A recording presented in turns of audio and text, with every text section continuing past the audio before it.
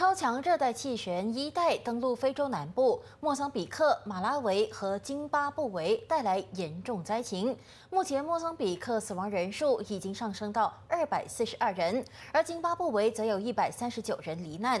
莫桑比克港口城市贝拉发生严重洪涝，大批灾民受困洪水中，还在等待救援。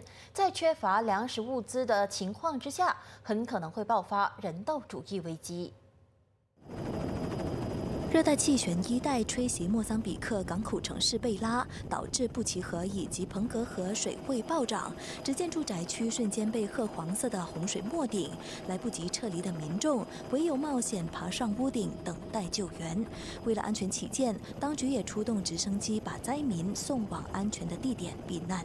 莫桑比克国土环境部长克雷亚证实，目前为止已经有二百四十二人罹难。全球最大救援及发展组织之一——国际关怀协会、国际红十字会以及红新月会联合会派出应急单位，为灾民提供食水和卫生用品。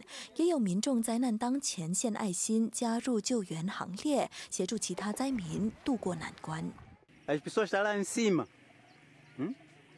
Tem uma árvore grande como aquela aí. A pessoa está em cima daquela árvore, a sentar. Desde a sexta até hoje. Nem comida, nem o quê. Como vai viver? Por isso ele vê aquele canoa para conseguir ir no lado da pessoa. Assim eu vou lá recuperar. Nosso rego também está lá. Está mal também. Com população cheia aí.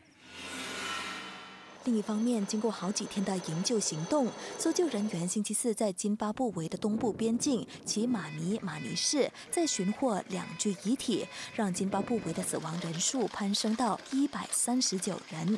联合国卫星机构透露，目前为止洪水面积达到二千一百六十五平方公里，灾情何等严重可想而知。